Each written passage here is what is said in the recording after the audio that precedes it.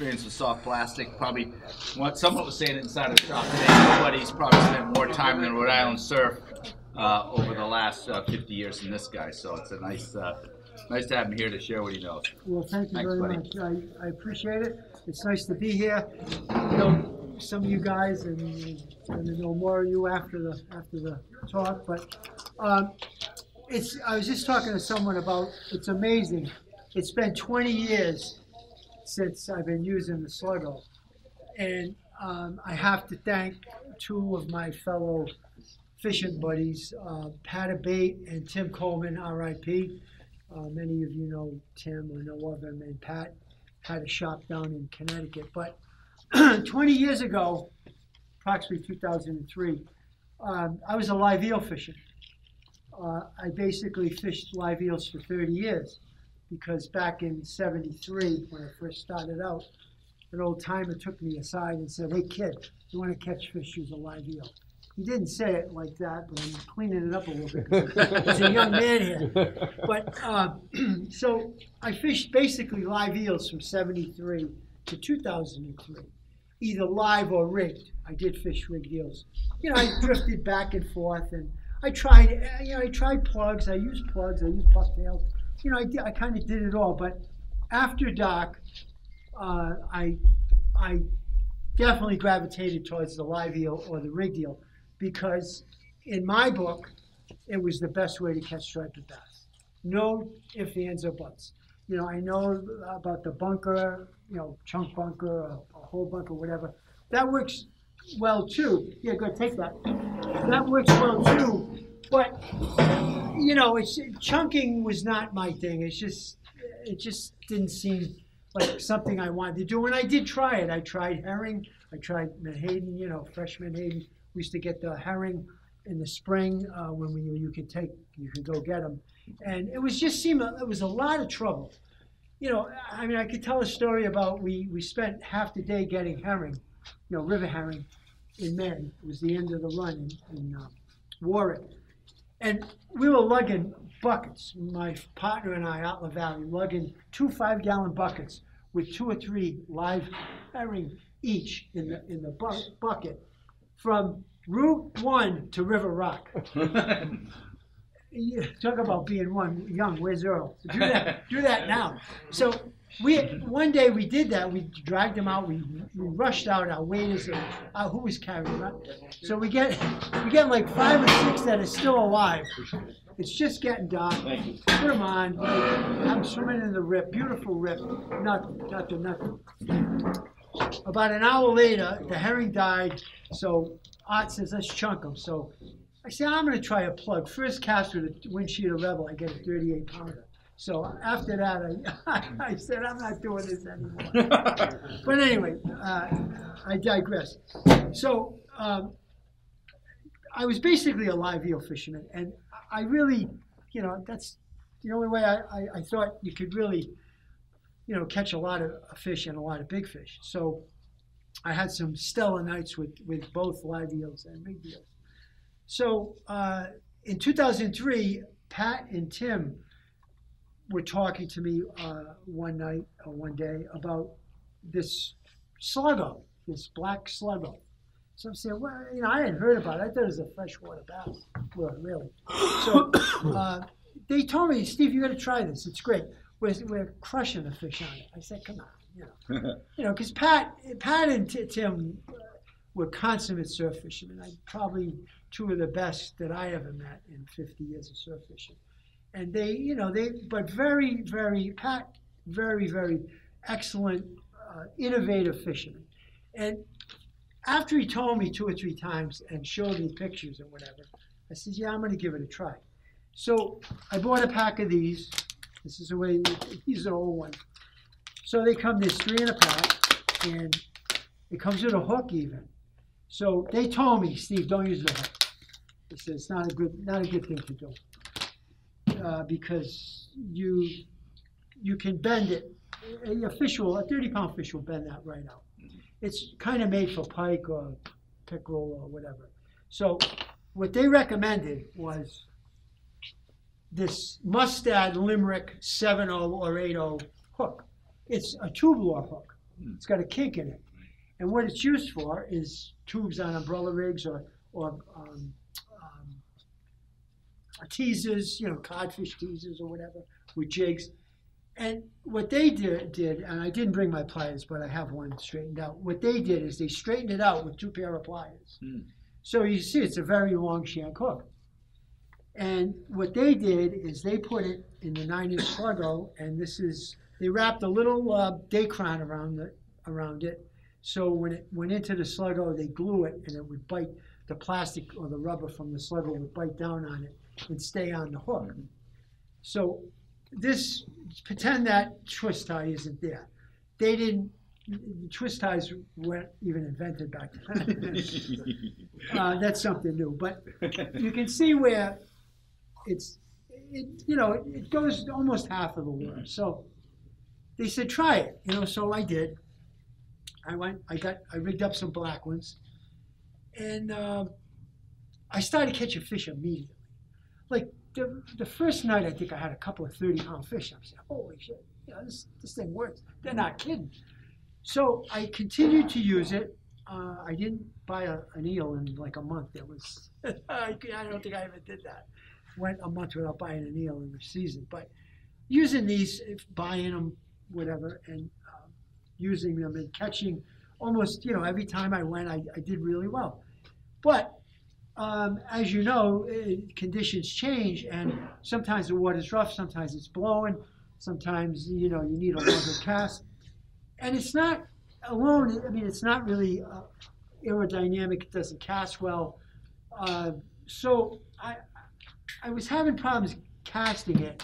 Also, I was missing a lot of fish that hit it.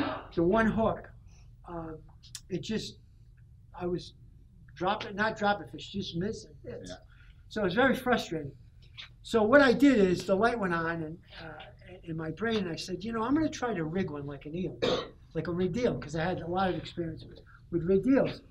So uh, as I progressed using the Sluggo, I ended up using two Gamakatsu 7.0. I think I first started out with a 5.0 in the back and a 7.0 up front, I believe. Um, but this is has two 7.0 hooks. But very sharp hooks. Um, I tried a lot of different t- style hooks, but the octopus seemed to be the best. It was a little curved and a lot of hookups, not a lot of you know missed fish. Yeah. And like Tim and Pat said, ah, don't you know you really don't have to do that because the fish you're missing with the one hook, uh, probably small fish. Well, one night using this, I had a 41 pounder on the back hook. So I, you know, I kind of said, okay, I think I'm going to stick with the with the two hooks. So with that, um, I was happy with the hook the hookups, but it still it it still planed out of the water in rough water. It wouldn't stay down, and the fish seemed to want it underneath the surface at night. They didn't want like anything on the surface, it's particularly the sluggo. They didn't want it. They- you wouldn't get hits. I had to fish it very slow and twitch it, whatever. So um, one day I'm working at Quaker Lane after I retired from my normal job, regular job. I worked at Quaker Lane for years, and uh, one day I'm in there. This is while the sluggo thing trials are going on, and a largemouth bass fisherman came in, and he bought some spinner baits and whatever, and he bought a package of these. They're Lunker City um, insert weights. So we threw them on a counter and he, I'm bringing them out. And I said, What are these for? he goes, They're to weight sluggos. I said, Do they work? Does it screw up the action? He said, No, no, it made, that makes it better. I said, Here we go. right?" So I bought like three packs of them, and uh, they were a little different. These are the new ones. They're three thirty seconds of an ounce each one. They have three sizes, I believe, but these are the, the heaviest ones. So what I did is I took the two hook sluggo and I put two on the, either side to be symmetrical, and then one in the tail. Just put one right through the tail. And I'm gonna rig one up uh, after the, the, the talk, but uh, it, it weighs considerably. I mean, you feel it. You can pass it around. You can you can feel the Oh, difference. yeah. And it and it casted much better. But more importantly, you could fish it in rough water, deeper water, uh, even current. Like uh, I fish it in an inlet that's not real strong. I wouldn't recommend it. This is probably a better deal than an inlet, but we'll talk about that in a minute. But it did work better, much better, in uh, boulder fields where I normally fish. So 10 feet or less water, approximately. So now I got a really good lure that casts great, or better, much better. And it's got two hooks, and I'm hooking almost everything that's hitting it. I, I'm, I'm, I'm happy. So uh, I fished it for a whole season and into another season. And I said to myself, I gotta, I gotta tell somebody about this. This is like unbelievable. So I wrote an article for On the Water. I had written articles for On the Water. So I asked them, I said, uh, you know, would you like a story about this? So they said, sure. So in 2003, five, I'm sorry, 2005, I wrote this article. It's, it's just about rigging the sluggo and how much, how, how I did, and basically what I told everyone here tonight. You know, I fished eels for years, many years, and then I started fishing this, you know, upon recommendation from my two buddies. And the thing was unbelievable. Well, they they liked the article. They, you know, they said, you know, can you write more about it, or you know, we'd like to hear more about it. So I said, okay. So now I'm fishing. I'm not paying attention to writing. So in the wintertime, Chris Megan, the, the uh, senior editor for the, On the Water, said we'd like to. They had a TV show at the time, On the Water. For, they had it for uh, probably 12 years or so.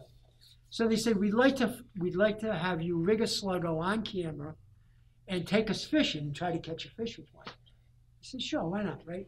So Mike Laptew got involved. I don't know if you know Mike, Yeah, the big photographer, right? yeah, diving he, fisherman. he put his his two cents in. So so it was we planned it and it got put off a few times. But anyway, on October twentieth of two thousand and I'm going to say seven or six, uh, we got together and we went to Beavertail. I'm not going to spot bird because Beavertail is kind of a Big. everybody knows about Beavertail. So the plan was was for me to rig a sluggo on camera on the rocks. You know, it was Yeah. very nice aesthetic, and then try to catch a fish out front or you know at Beavertail.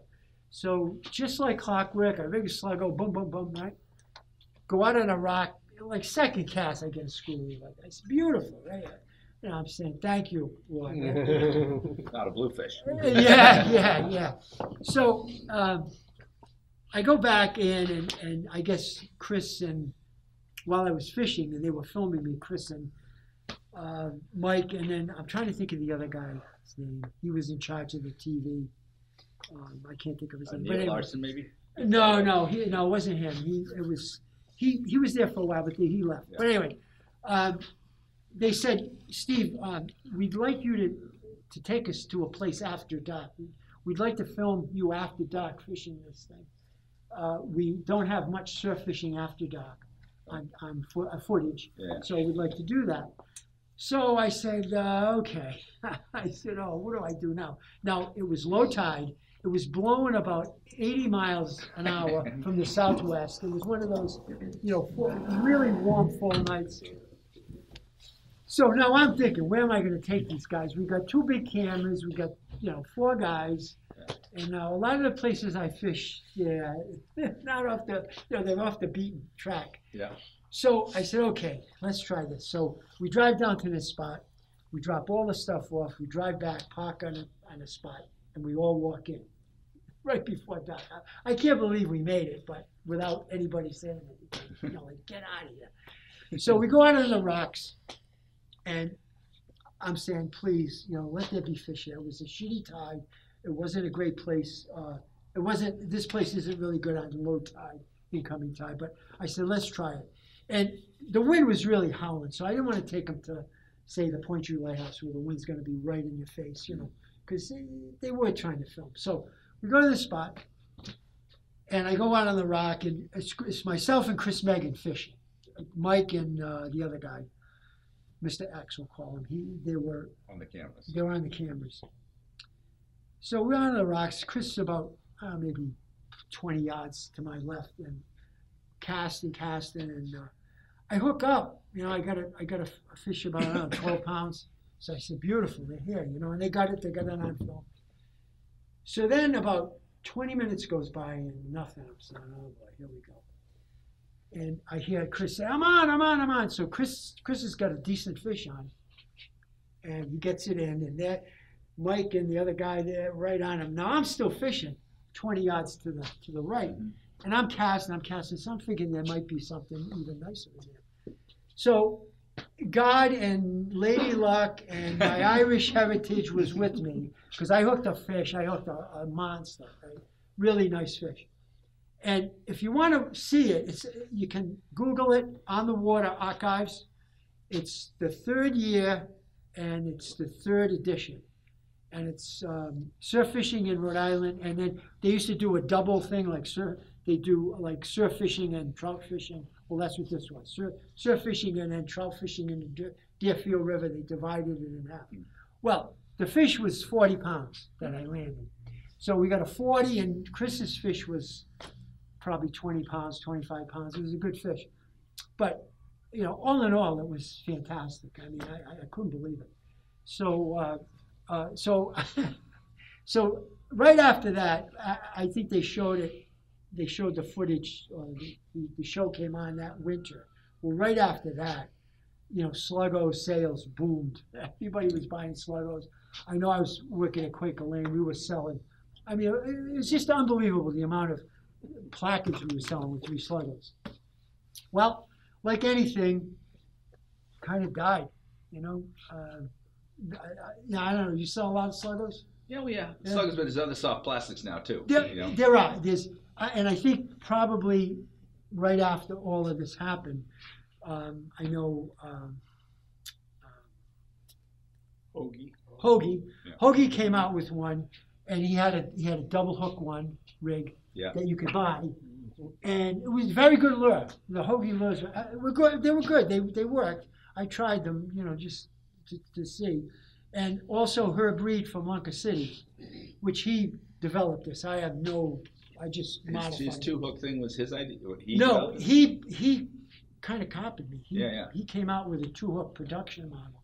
You, you can still buy it. Yeah, You know, I've uh, seen him. Yeah, two. It comes two in a package. So it, was- it got popular. It was Right. really popular, and the the weights, you know, the Sluggo weights really helped.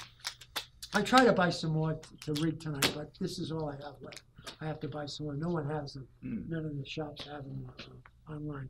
But anyway, so it was it was quite a night, and um, you know, it, it was just just the start of me realizing how good this lure is.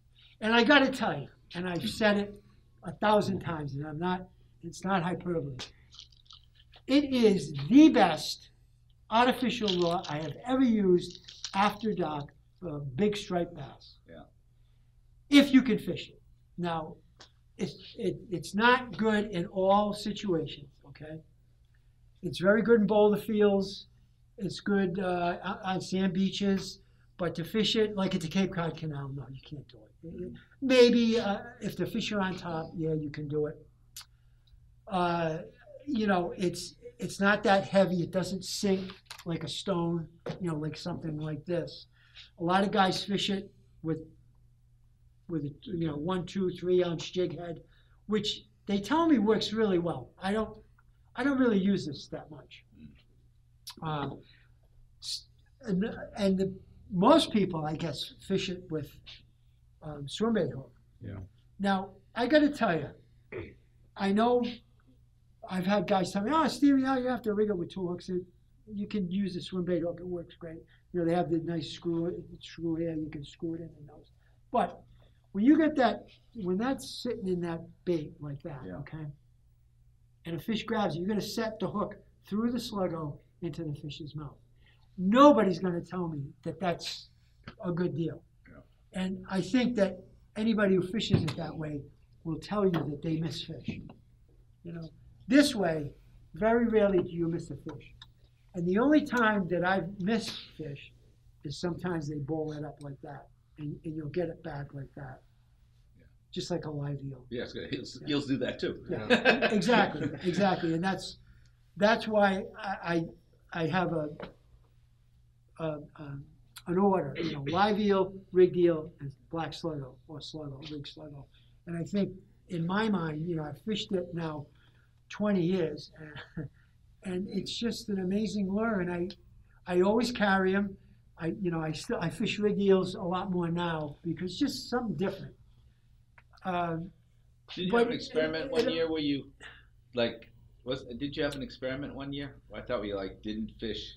Oh no, that was yeah. I, I did experiment before all of this. I used I used metal lips all season. Ah. That's all I used. Okay. Just nothing else. Yeah. And yeah, it worked out okay. But it, Yeah. yeah, I don't really fish metal lips anymore. But the the reason why I think I do well with the two hook version, uh, and I've talked to quite a few guys, is the way I fish the sluggo, and I don't think a lot of guys fish it the way I do. And I think with the two hooks, um, the fish. Well, for, let me let me start off this way. Okay, I hold the rod, I make a cast, let the lure sink, and when I start reeling, the rod's to the side, so a long rod doesn't lend itself to the way I fish the sluggo. Eight, nine, maybe ten, but nine is perfect. Eight actually is perfect, but you know it's kind of short for the surf. So say nine feet. But what I do is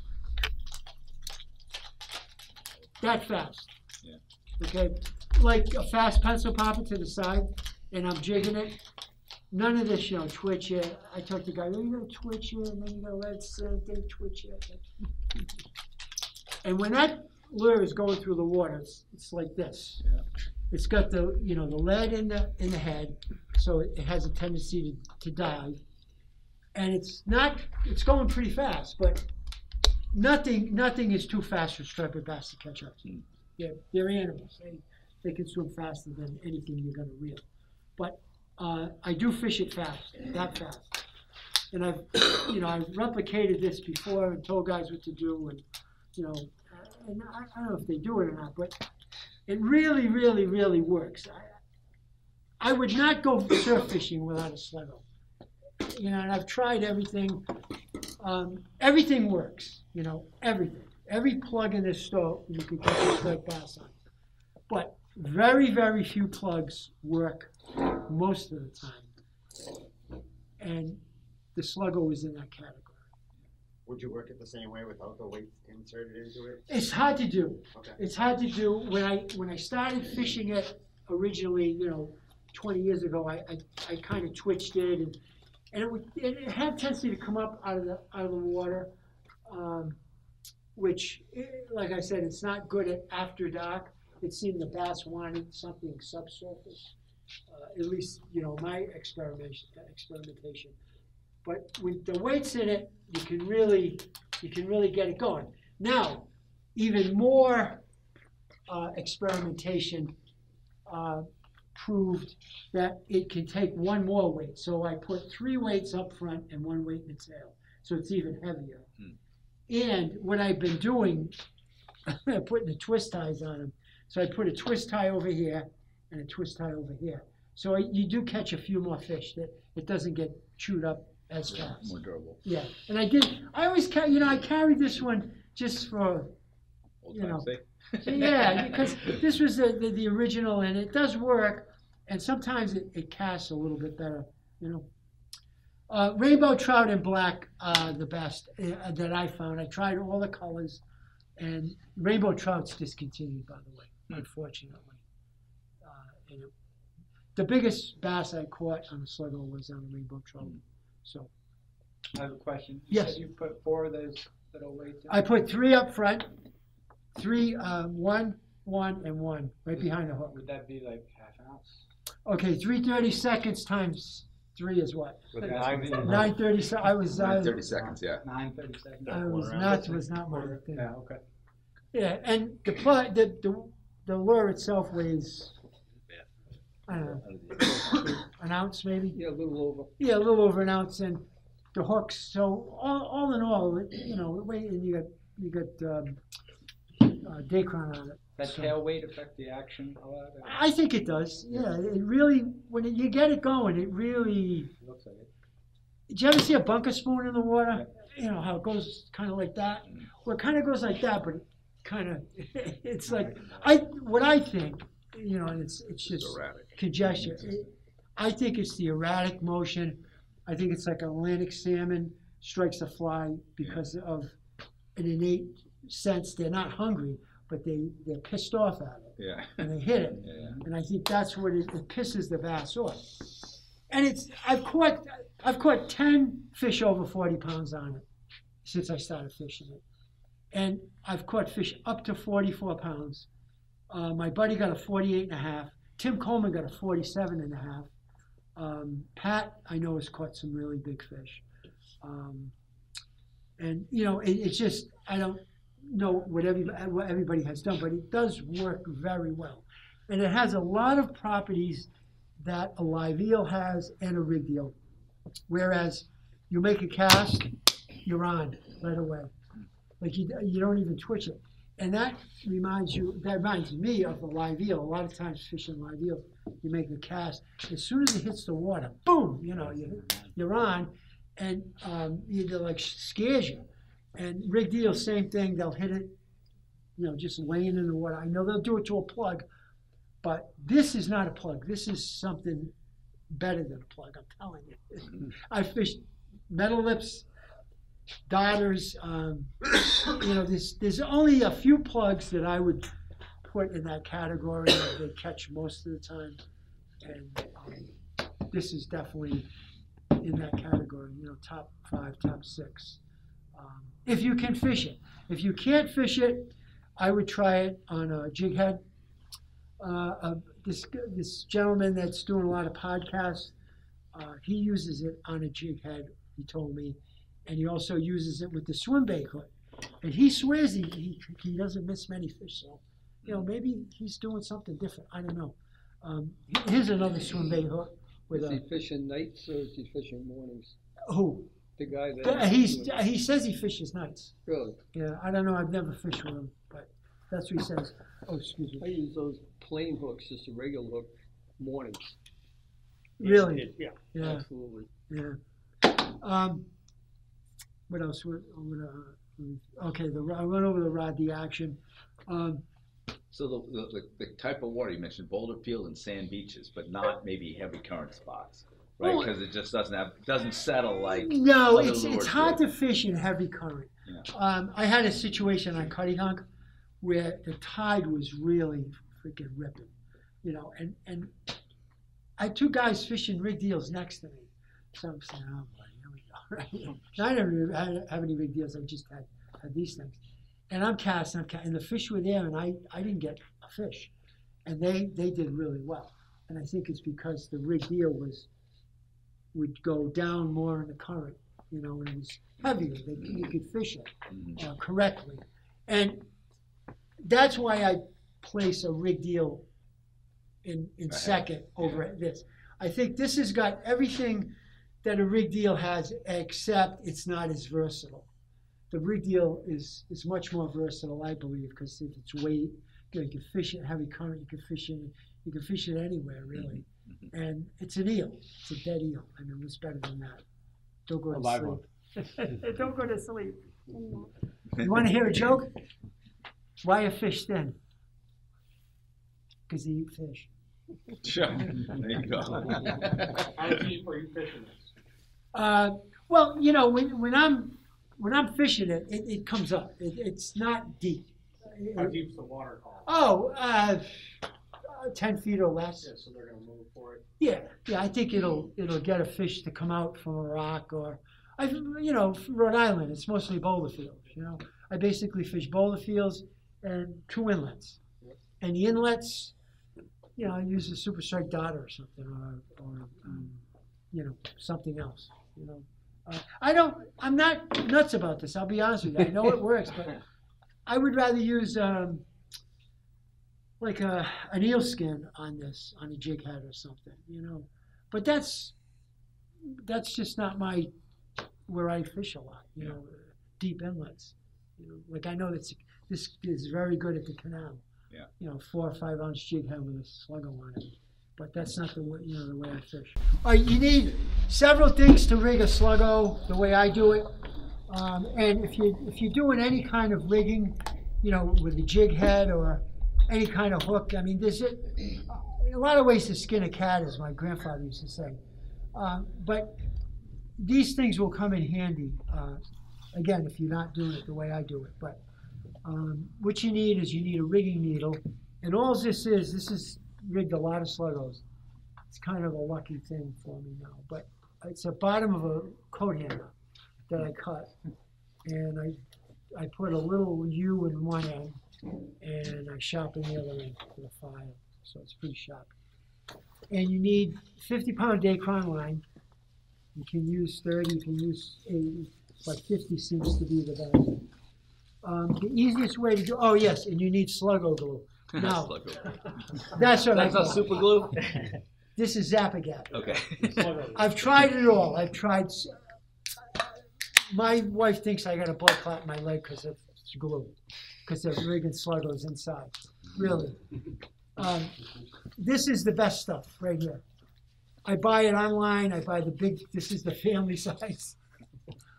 It's it's good. It, it, it's so good. The other day, well, two weeks ago, I'm rigging a sluggo, and my my fingers stuck together. I didn't do it fast enough because I haven't rigged one in you know, a couple of months. Do you think I could get my fingers apart? And my wife didn't have any acid, uh, you know, fingernail. Nail polish, I pulled it. I pulled it with a pair of pliers. I pulled my thumb, took a chunk out of my Oh, that finger. So I put some tape on it, and I go upstairs, and my wife goes, "What'd you do now?" You know?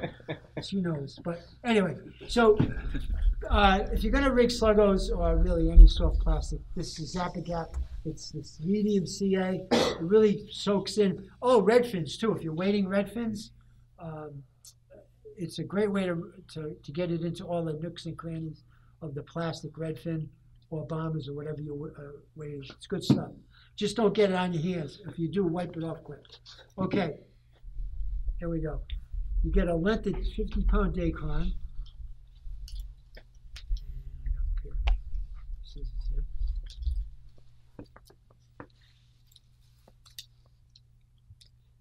I haven't rigged one in a couple of months. So. Actually, I did. I rigged one the other day, but- uh, you just a length of day, uh, Dacron like that. Just double knot this right here, like so. And any of you who've rigged, I mean, you probably, I'm s- singing to the choir here, I'm sure some of you have rigged sluggos, but anyway, you get a 7.0 Gamakatsu hook, very strong hook. Commercial rod reelers, um, who make their money out of selling striped bass uh, when they yo-yo, they use a five or a six oh Gamakatsu. So that's another reason why I kind of gravitated towards because they, they're good hooks. Those guys, they know what they're doing. You know, like to use crappy stuff. All right, what I do is I tie an improved clinch knot, double. You know, again, you can use whatever your favorite knot is. My dad taught me this a hundred years ago, mm-hmm. and it's never let me down.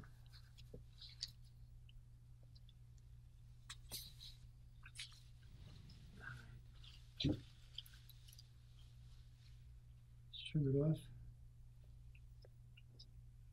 You know, after a while, you, you get good at this. You can rig quite a few of them. It's a lot faster than rigging a live eel, I'll tell you. Mm-hmm. A ri- I mean, a dead eel.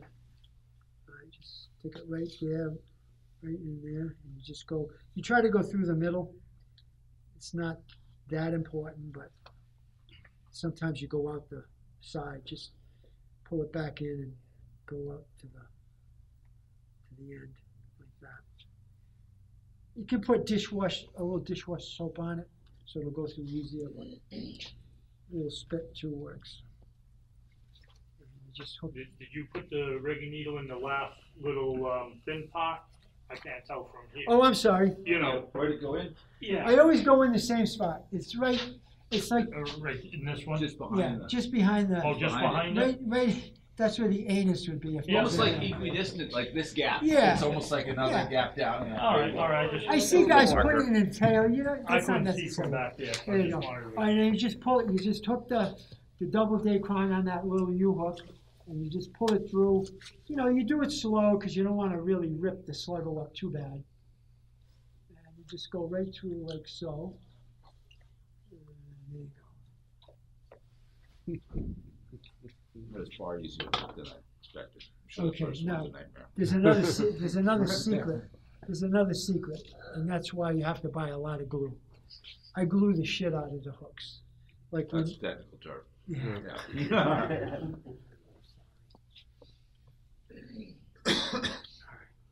You get it in there like that.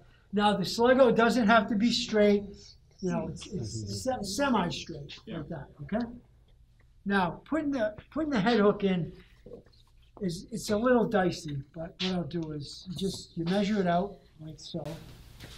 So you want the eye exposed. And you go into the side of the Dacron. And you go in like that, and you come out right about there. Now, Sometimes you hook the Dacron, don't get nervous, just back it out, try it again. And you gotta connect the back hook with the head hook, obviously, because if you get a nice fish on the back hook, you don't wanna lose it. So what I do is I just, if any of you tie flies, just half inch. You do one, that's the first one, tighten it up. You do another one. Like so like that.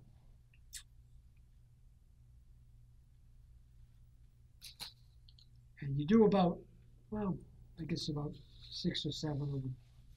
I mean, you can go up right up the hook shank if you want, but that's enough to connect them because you're going to glue this too. You're going to knot it and you're going to glue it, so it's pretty strong, you know. It'll withstand the, the weight of a big fish. Okay, that's gonna look like that. Okay, so you're gonna have some hanging off. Now, what I do is I just make a knot like so, an overhand knot, and you just work it down like that. And you just pull two, two ends. Now this Dacron, there's something, it's not real good Dacron. I, I can't get the green spot anymore. This doesn't want to slide down. The green spot is, is um, coated, I think. So I, have problems with it sometimes.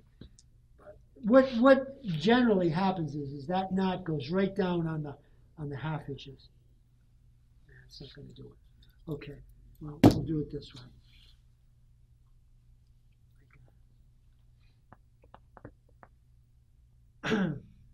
no, I, I don't know why the person that I buy this from doesn't buy the green spot anymore, the good stuff. All right, just make a knot in, so that way it's not gonna, it's not gonna unravel anyway. Mm-hmm. Okay? Now. Now's the time you gotta glue it. And at one time I had Sluggo glue on everything I owned. My question is, how do you have such a big bottle that doesn't goop up and the cap doesn't fuse on? So I, for fly tying, I have the little ones, and I can't get through a full bottle without it getting gooped. Store upside down. Secret. Sticking something through it. No. What you do after you use it, well, let me do it and I'll show you what I do. Okay, you glue it like that.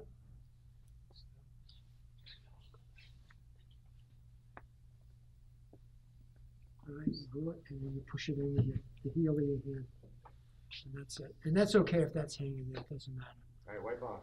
Yeah, quick, quick. Wipe it off. Oh, I did. I did. No, I did. It's not on my fingers. No, I must have, thank you. Okay, now, now, here you go. After you do that, you go in, they sell an applicator that you can put on top of this, but this works better the best. You glue it there, and then you put this in the back. The hole is pretty good size, and you just glue it, glue it, glue it like that. Now, you let it dry. Like so. Now, to keep this glue from, you know, gumping up, what you gotta do is just blow on it, make the hole, If it doesn't do it, you get something pointed like a hook and you just go right through. There you go. See the hole in there? Yeah. Okay, then you put, you wipe it clean, then you put the applicator on, put the top on, then you put it in a Ziploc bag. Okay. Believe me, I've gone through it. Yeah, no, I- down to Rick yeah, yeah. and you go like this and it's like a rock. Yep, for sure. Somebody told me you can put it in the freezer too, Okay. which uh, I haven't tried. But what I do is I seal it. Very, very judicious about this because you have to be. Uh, this was a bold move expensive going, stuff. going, yeah, going with the big bottle because. And it, and it will never, it never comes. This is, Alright. this is from last year. Last, Wow, I good bought for this you. last, last spring. I bought two bottles, I'm impressed. okay? Well, you do a thousand of these things. Yeah, no, for sure. That should be pretty dry here. Now, you get your sluggo weights. I didn't ruin your tablecloth there, did Character. Stuck to the table. I? Now you get, put one on the side like that. You want us along the side of the hook? Yeah, just parallel to the hook.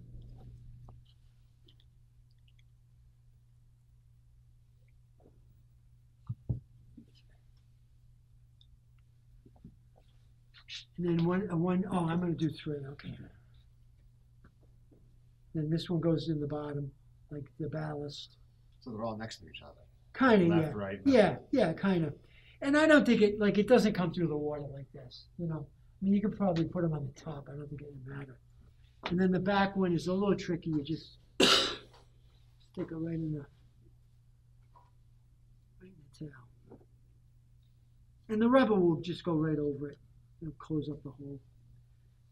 And you can reuse the weights, you know, if the fish chews it up, and they will, you can reuse the weights, you can reuse the back hook. The front hook's got a lot of the Dacron on it, and um, you need a Dremel tool to get it off. So if you really want to do that, you can.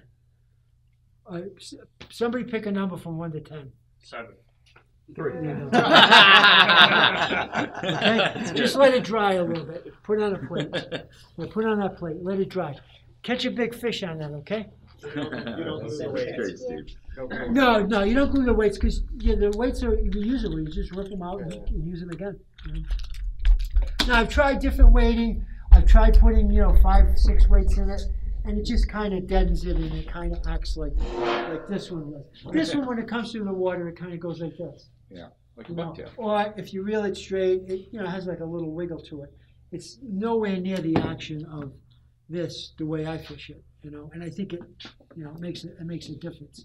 Like if you use this in a boulder field, I don't think you do as well as if you use this. You, That- the one you, the way you describe the one you rig is it's erratic. very right? erratic, yes. Very. I mean, I, when, before I make a cast, I test everything I use, no matter what it is. I go out and I field test everything. But when I'm fishing, you know, I'll throw it in the water next to me if I'm on a rock, and I'll, I'll, I'll just see how it looks. And you know, I've only had I think like one that I don't know. It just didn't have. I don't know. They're not. They're, they're pretty.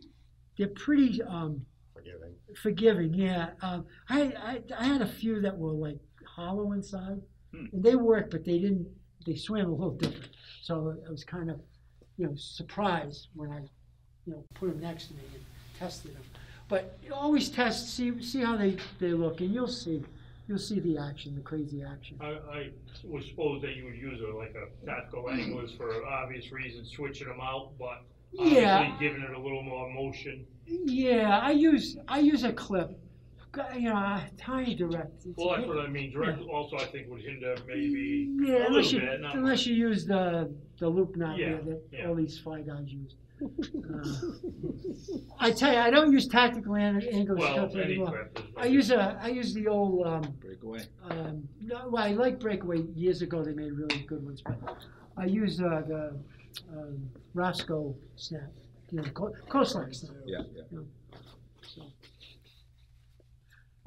Any questions? Any more questions? That's all I have for you guys.